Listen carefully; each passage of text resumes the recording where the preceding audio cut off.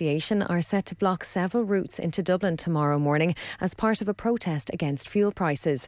A large group of trucks will leave various locations from 7 o'clock in the morning, travelling on the M1, M2, M3, M4, M7, and M11. The organisers say they want the government to address the nation and the fuel issue, otherwise, they will return in bigger numbers a week before Christmas.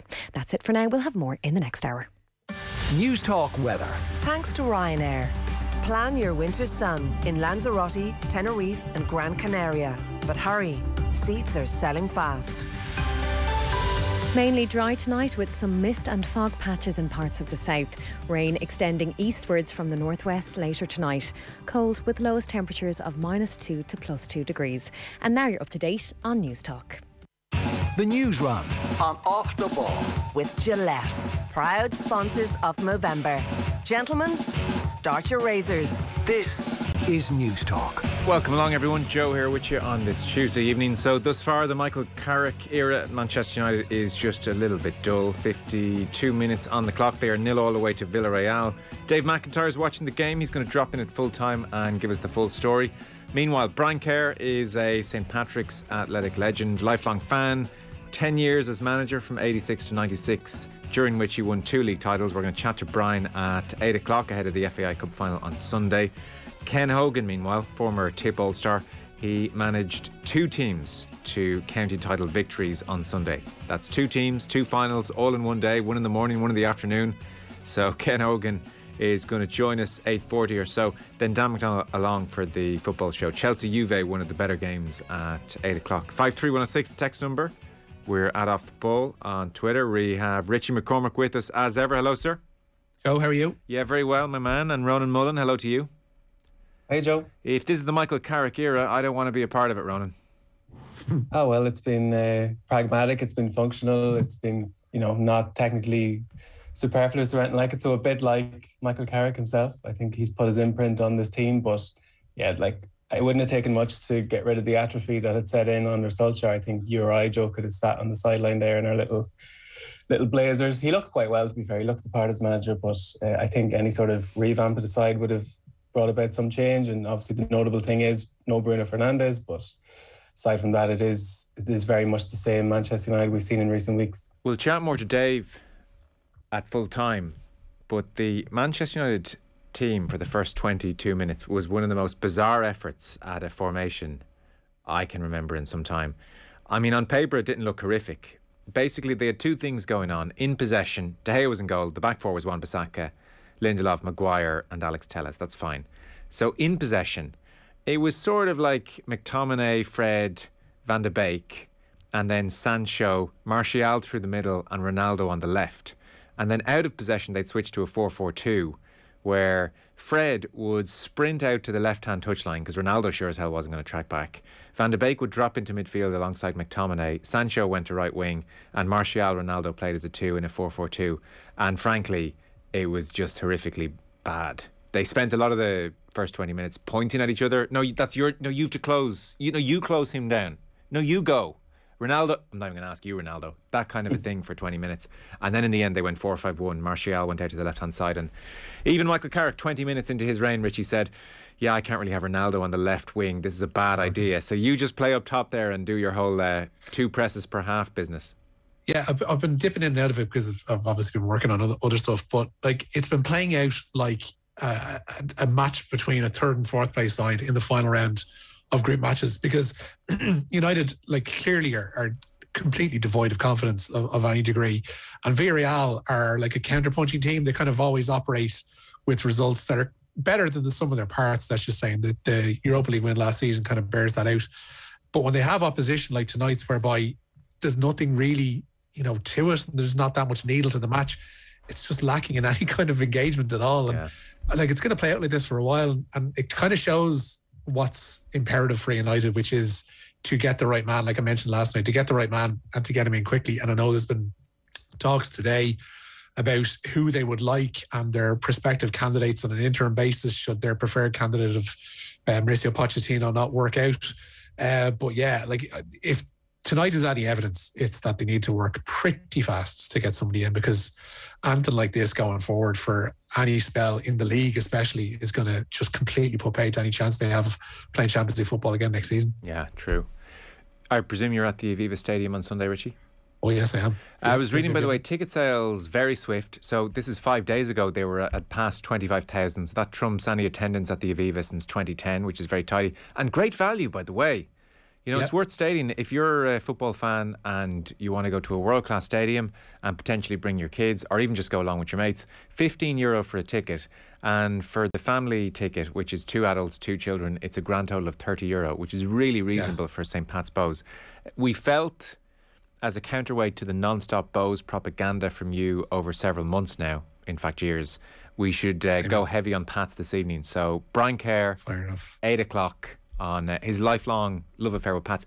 Uh, he says he loves them more than ever. He's been to more games this season than ever. He just uh, Oh, yeah, yeah, yeah, yeah. One, one- one of the constants you see of the like Sportsfile uh, filings or Inpho's filings, like the the photography agencies from uh, home games for St. Pat's, is there'll always be a picture of Brian standing on the Kamak, uh, just watching on the match, just there, you know, in a spectator's capacity. Like that man's dedication to his club should not be sniffed at whatsoever. And yeah, just a quick update to the ticket sales thing.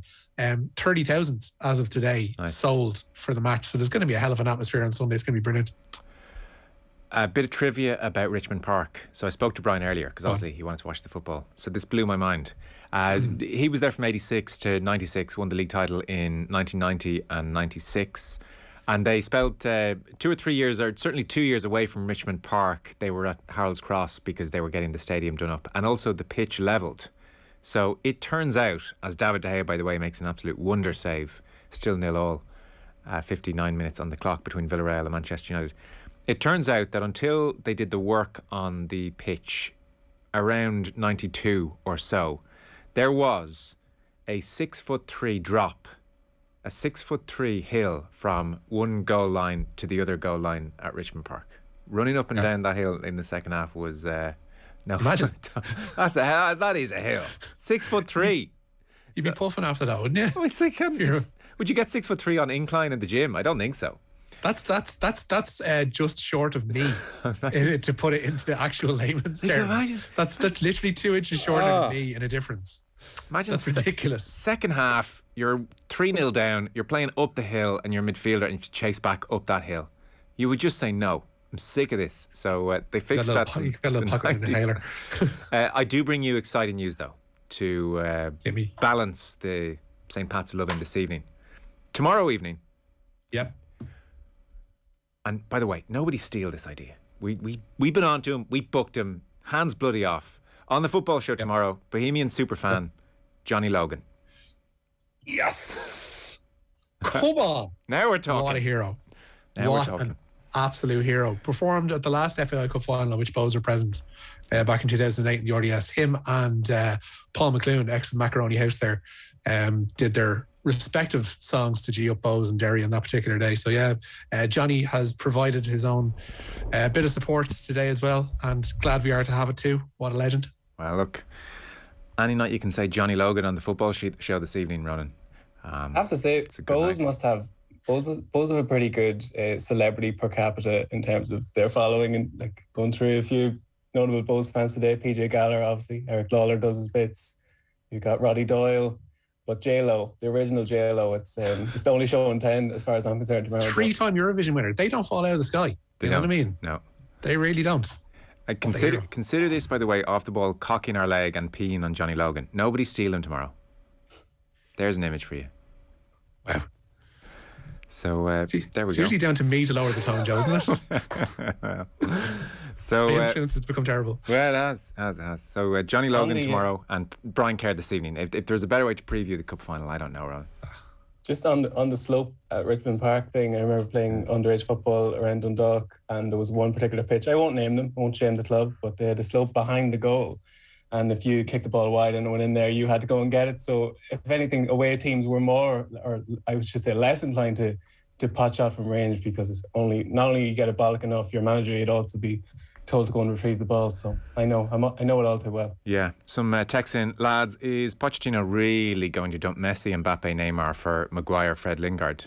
I mean, I take the question. Apparently, he's really open to this. That's the reporting across the board, and it does seem as if he wants to get back to the Premier League. It does seem as if his relationship with Leonardo is very difficult day to day to day to day. So that would grind. Everybody's relationship with Leonardo has been has been difficult so far, True. judging by and like he hasn't done great work in the contract front either. So you would suggest that you know Nasser Al Khelaifi, who's looking after PSG, obviously would be looking at the role that Leonardo's played in the last couple of years because it hasn't necessarily um, been a great one. I don't think they were too happy to have let Tuchel go and then watch him go and do what Chelsea did last season uh, under his tutelage. Um, yeah, it hasn't gone down well. So for them to lose Pochettino because of a relationship with Leonardo, I don't think would augur well for the Brazilians' prospects in Paris. Yeah. What is the, what is the crack with Leonardo? Like I remember him doing. He used to rock in for international tournaments on the BBC, and he just seemed like a perfectly affable guy. And then all of a sudden, he seems like a demon behind the scenes at, at Paris well, Saint-Germain. So tell that tell that to Tab Ramos back in '94 when he shattered his jaw. Uh, USA '94 is all you need to know.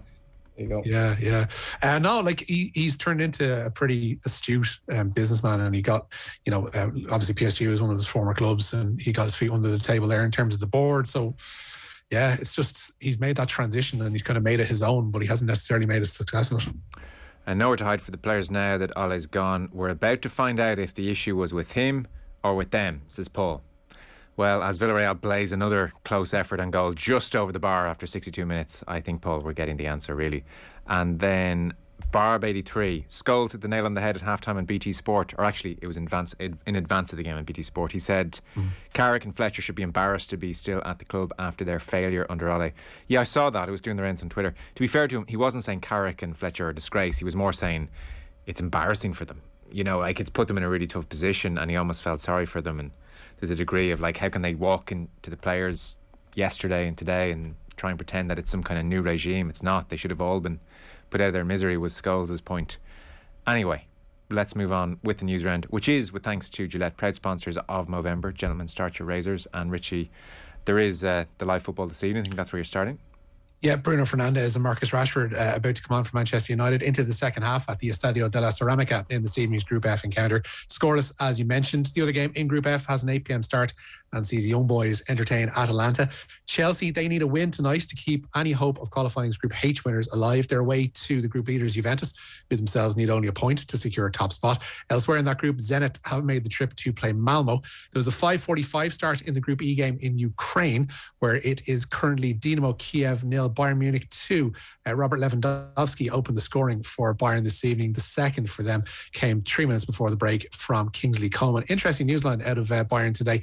Joshua Kimmich, Serge Gnabry, Jamal Musiala, Eric Maxim Choupo-Moting, and Michael Cuisance are all self-isolating in line with club policy. They're not being paid for every day they miss as they opted against being vaccinated. But it's reported that Kimmich, Gnabry, and Cuisance are to perform a U-turn on their vaccine obstinance. And finally, in Group G tonight, the group leader Salzburg are away to Wolfsburg, and bottom side Sevilla host Lille. I'm a Galway expat living in Rathmines, says Killian in Dublin. And there's a posh school on the main street who have a pitch out the front, and the pitch must drop at least 10 feet from front to back. It is weird looking. And Paul points out there is a four foot slope on the pitch at St James's Park, Newcastle. Yeah. So, where that? Newcastle have a big slope. All right. On uh, Fernandes being dropped here, Ronan. What do we want to read into that? Was it, did Daniel, did, you, did you have the instinctive sense as uh, Solskjaer was waving to the crowd, and Bruno was taking it upon himself to, you know, tell the crowd how to behave. There is a degree with Bruno of just wind your neck in at the moment. You know, see, like you're playing abysmally, and you turn your hands around at everyone, and now you're going off at the fans for their behaviour. I just wonder if, uh, like, he's starting to grate with Manchester United supporters. I would think. Yeah, possibly. Like I know when things are going swimmingly, he's the totem of it, and the team was obviously built around him basically since day one of his arrival at Old Trafford. And obviously, not the case has been well worn at this stage that they have to cater to Ronaldo, and he has to take at best second second fiddle in that regard. But to his credit, and he's not getting a lot of it in recent weeks, obviously. But like when he's on the ball, he's trying things, and he does like he does actually work off the ball, contrary to what people say. Like he does actually put a shift in too. I get your point about the gesticulation and maybe be there's an there's an element of when he does press and no one follows in behind him that he turns around and maybe throws his arms up in the air. That doesn't go down well with teammates and it doesn't go down well with fans either. And yet when, when he's not producing those assists and goals, it's hard to justify his place in the team because it's a bit like if you try those things and they come off, you're you're hailed as a genius. If you don't do it, you're seen as giving the ball away, and those stats will add up, especially in a team with such a bad defensive record as Manchester United at the moment. So Donny van de Beek made more sense in this game that he'll he'll keep things taken over, won't be overly showy, and that's kind of been the the kernel of tonight's performance actually. Lads, can't wait to hear Brian Kerr, Pat's legend, won the league for the first time since the 50s. Never to be forgotten, says Tony, who's a big Pats fan. Uh, there was a quote I was uh, looking at which caught the eye in advance of talking to Brian from Dave Henderson, a well known goalkeeping figure for many oh, yeah. year and uh, character. And he, you know, had a big career even before St. Pat's when Brian picked him up. And he was there for that first title win, the one in 1990 when they were playing at Harold's Cross. And he had a great quote. I think it was in the 42. It might have been, uh, I'm not sure who did the piece out of my head. Come back to me. Anyway, he was saying of the time at St. Pat's when they won the league, it was the maddest dressing room I was ever in. Not mad, mad, funny mad. We didn't do things that were the norm. Like in the dressing room at Harold's Cross, there was an adjoining room to the opposition's dressing room, and cared of Nudger, his assistant Paul Nugent, cared of Nudger eavesdropping on their team talks. Suddenly you'd get this shush. You were told to keep quiet while Nudger listened to what their manager had to say. Need more of that in football. Like that that kind of stuff. Like the, the whole Spygate thing with Bielsa and Lampard a couple of years ago. Like I'd absolutely live for that kind of thing. Uh, whereby amazing. there's a bit of underhandedness, but not necessarily evil. You know that kind of li- li- little bit of edge. The right amount of bending of that rule. Exactly, exactly. Is it even a written rule that you can't eavesdrop on the opposition team talk? I wouldn't even think it is. Of course it's not. Of course it's not. So that's the live football this evening. Where are we going next? Uh, down to the RSC because Waterford owner Richard Forrest has defended his decision to sack manager Marc Bircham. He was relieved of his duties three days before the Blues play UCD in the promotion relegation playoff, funnily enough, at Richmond Park. Bircham claims he found out about his sacking on Twitter, having initially tweeted to say he was suspended for a disagreement with Forrest. In turn, Forrest this evening says he was given no option but to sack Bircham, having been, as he put it, backed into a corner not too sure what's going on here. Dan McDonald has been on the case. He will be with us between 9 and 10, so we will get details on that. Marcus Rashford was in on goal, just failed to control the ball, although it turns out he would have been offside either way. Still mm-hmm. nil all in Villarreal. Now, Colin Boyle yeah, he today became the latest Mayo stalwart to call time on their inter-county career. The Davitts clubman has spent nearly 14 years on the Mayo panel, winning six Connacht titles in that time and appearing in five All-Ireland finals. Boyle also won four All-Stars in that time, but his Mayo and Davitts teammate Michael Conway told Midwest today that he felt he deserved even more. He could have sneaked five, and when I think they, they kind of piece Brian Howard in, uh, who was playing in the forwards all year, instant draft back, you know. But I think he, he missed out on one, one, one another year when he when he could have got five All Stars. But look, at he, he he started off, I suppose, in that, that same tap back then, Lee Keegan, Donal Vaughan, and himself, and uh, they were the platform for, for a lot of our attacks and a lot of our our um, team was built around that sort of. Um, line and driving forward. But yeah, look, he, he was he was a, he was a brilliant player. I actually heard heard heard about about him kind of stepping aside a couple of weeks back. But he's that type of fella. He just wanted to go nice and quietly, and uh, you probably won't hear too much about it. You won't hear him hear him hear him screaming too much about it. He, he's that, that that type of guy, you know. Mm. Four All Stars in 14 years, not too shabby. What a player! And rolling just the five All Ireland finals. This whole generation of Mayo players are retiring with a lot of All Ireland finals under their belts. Mm, and like it was well summed up in that clip, but he he certainly was like a paradigm of what typified that Mayo team through the years, and also also kind of typified how Gaelic football evolved over the course of his career. Got that hard running that just kept going for the full seventy minutes, and also adroitness of thought from the half forward line that wasn't necessarily the norm at the early part of this century. So yeah, hell of a player and part of a, a team that will be remembered as one of the all-time great teams, even without an All Ireland win. Richie, I know if there's been a frustration of Munster players over the last decade or so, it's been that there's been far too much churn when it comes to coaching staff, and they've yeah. announced departure of a significant figure today. Yeah, interesting one this this evening. Munster announcing that Stephen Larkham is leaving their coaching staff at the end of this season. The ex Wallaby is returning to his native Australia to pursue a coaching position closer to home. Larkham was appointed as Munster's senior coach in 2019, but he's out of contract at the end of this term. Back in September, the 47 year old said he wanted to remain with the province, but now says that proves how difficult a decision it's been to reject a contract extension. Johan van Graan, we should note as well, out of contract soon at Munster too.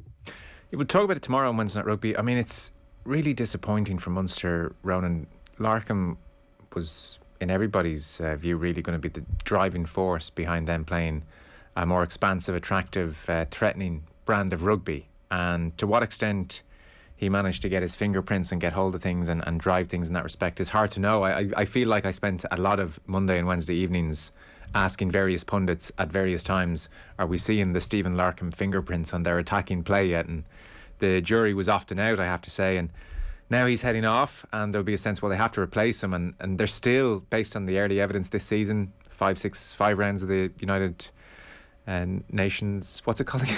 United, United Rugby Championship, John. Your, your Mondays and Wednesdays haven't been that well spent. Uh, I was doing so. I was in such a flow. I was in such a flow. Uh, I've watched all their matches. It was any consolation. I just couldn't remember the name of the tournament. The URC. Uh, I think really this season they still haven't clicked from an attacking point of view, and now Larkham's going. So I think that's a blow for Munster really, and they're going to have to find someone equally well respected to replace him. So far from ideal.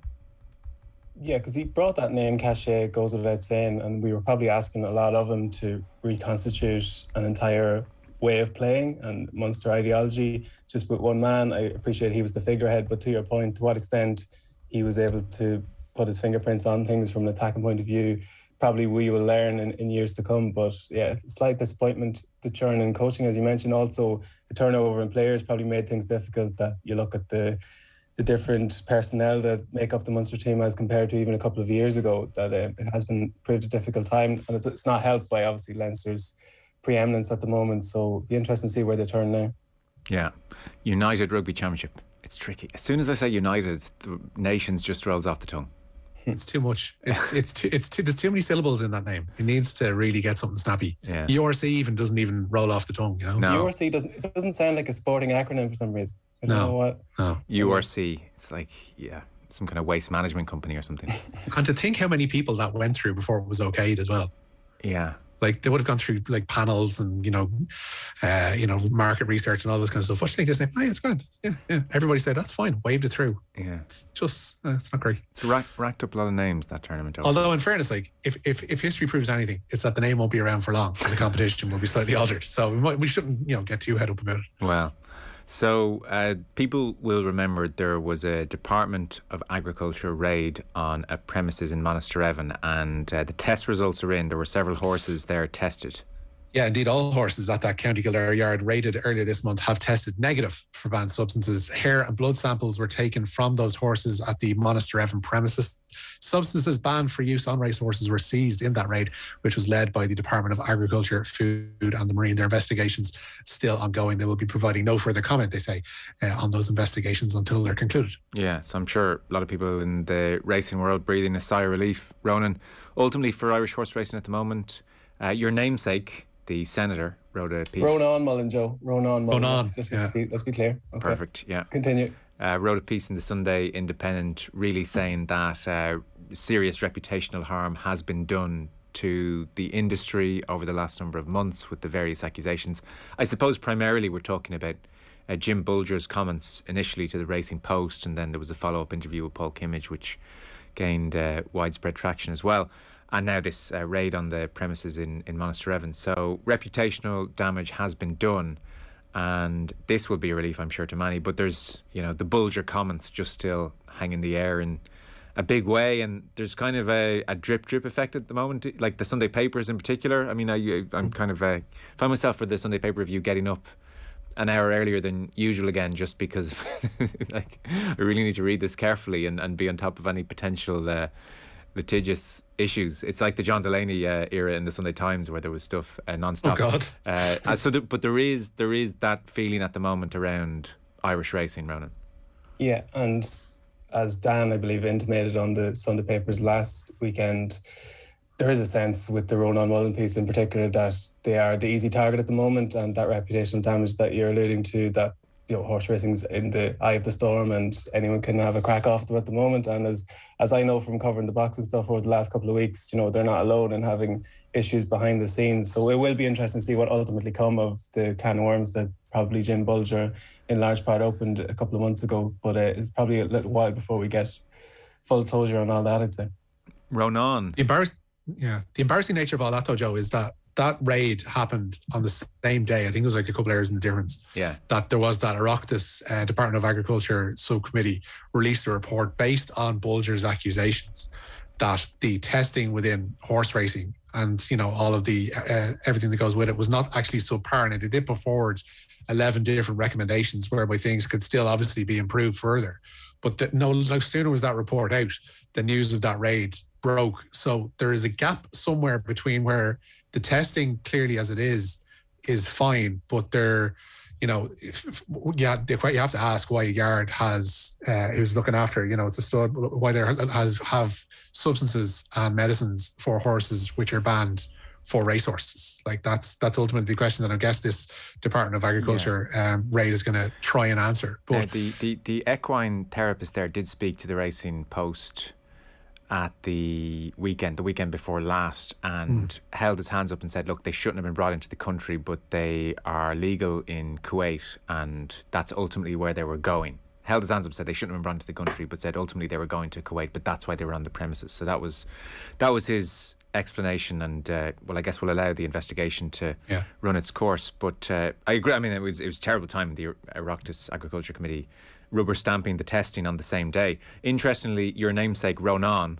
I just hear him called Ronan Mullen everywhere he's introduced. By the way, are you, are you making up the Ronan thing? No, it's it's, it's definitely Ronan. Okay. Yeah. Otherwise, well, I'm going to have to do like what Stephen A. Smith does in um, in America, Joe, and have a middle initial just to differentiate myself. So yeah. What is what is your middle name? Uh, well, Gerard would be the first one up there, so it would be Ronan, Ronan G. G. What up, G? Ronan G. Yeah, could work. Okay, could work. Ronan G. Goal for Manchester United, by the way. Yes, goal for Manchester United, and it looks to be Ronaldo, and it's a brilliant finish. It is indeed, yeah. Yeah, it's yeah. a brilliant finish. Goalkeeper. A cock up in defence, to be fair. Things. Yes, yeah. sorry, we're jumping all over each other. Fred sorry. with a with a brilliant tackle. In fairness, as goalkeeper passes to midfielder, Fred nips it, breaks to Ronaldo, and it's a wonderful first time finish where he has his back to goal, but he knows the keeper is off his line, and so steals a glance, turns, and just uh, side foots it half volley over the goalkeeper. Easy finish, makes those look easy. United 1 0 up. Can I get to this Ronan Mullen point, please? Yes. Jeez, been blathering on. I'm boring myself at this stage. Uh, he did make the point about the Oireachtas committee that, you know, it's all very well getting a few people in from racing and interviewing them for, you know, four or five hours and taking their word for everything and then rubber stamping testing and saying everything's a okay. That doesn't really cut the mustard. And I thought that was a fair point. That was all I wanted to say. It wasn't worth the wait, really. I've been trying to bring in that That's point fair. for five Ronan, minutes. R- Ronan G. Ronan G. over here approves approves the comment. I, t- I, t- I think to be fair, and uh, Horse Racing Ireland mentioned this uh, when the Bolger comments first came out as well, that their testing processes are in line with best practice.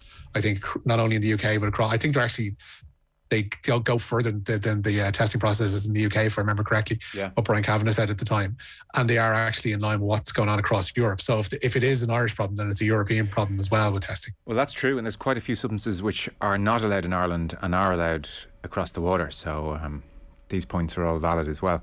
Uh, if we were ever Ronan to have a, an interview where Ronan Mullen interviews Ronan Mullen, oh Jesus, it's the one what, everyone wants. What do we call that slot? Five three one zero six. Everybody. I don't know. I just want to get to such a such renown, Joe, that I can drop the second name and just call myself like like Beyonce or Adele. I can sure. just take ownership of, of Ronan and Ronan Keating and all the others. Ronan oh, Kelleher he's, even. He's done terrible damage to your name, in fairness, hasn't he, Ronan, Ronan Keating? Ronan Keating. Is Ronan Keating the most famous Ronan in Ireland? Well, I'd have Ronan Collins up there. Ronan but, Collins, yeah. Collins. Ronan Kelleher could be there, Joe. He's already a British and Irish line. If we can put Kelleher. together Keith Wood esque career, he'd be he'd be up there. Kelleher, Collins, Mullen, and Mullen again. Mullen. All right. I think it's time for us to go, clearly. Ronan G and Richie Yeah. McCormack, thank you. Eyes up. Cheers, lads. Your chance to win big. News Talk's cash machine. Now, we had another winner in the News Talk cash machine this afternoon. We're very happy to say we're in a nice little run at the moment. It was Helen Ward from Raheny in County Dublin. Helen knew the correct amount was €7,523 euro 38 cents when Barry Dunn called her just after 3 o'clock today. So well done, Helen. Congrats. There'll be another chance to win tomorrow when we open the cash machine for business once again. News Talk Breakfast. Just after 8 a.m. is when you'll find out just how much you could win. The News Round on Off the Ball. with Gillette. Proud sponsors of Movember. Gentlemen, Start your razors. Neven Maguire here, and I love this time of year. It's a great time to try out new recipes for the big day. It'll come as no surprise that I think cookware makes a great Christmas gift. And my Cook with Neven Maguire range at Dunnes Stores has plenty to choose from. You'll find lots of great gift ideas from colourful cast iron pots to the versatile skillet pan, as well as great kitchen gadgets. Shop the Cook with Neven Maguire range at Dunnes Stores today in